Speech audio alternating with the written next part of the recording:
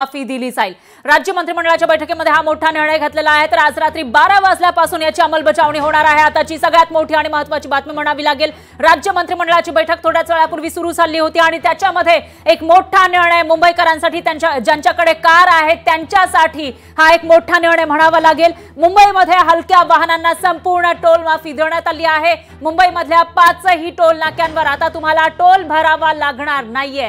हलक्या वाहनांसाठी हा निर्णय घेण्यात आला आहे. राज्य मंत्रिमंडळाच्या बैठकीमध्ये एक मोठा निर्णय झाला आहे आणि राज- आज रात्री बारा वाजल्यापासून या निर्णयाची अंमलबजावणी होणार आहे. मुंबईमध्ये पाच टोल नाके आहेत आणि या पाच टोल नाक्यांवरून जाण्यासाठी काही प्रमाणामध्ये टोल द्यावा लागत होता हलक्या वाहनांना. मात्र आता निवडणुकीच्या पार्श्वभूमीवर मुंबईकरांना खुश करण्यासाठी मुंबईमधील ज्या लोकांकडे हलकी वाहनं आहेत त्यांना खुश करण्यासाठी सरकारनं एक मोठा निर्णय घेतलेला आहे. ज्यानुसार आता मुंबईमध्ये हलक्या वाहनांना टोल संपूर्णपणे माफ असेल. त्यांना टोल द्यावा लागणार नाहीये. तर मुंबईमधल्या पाचही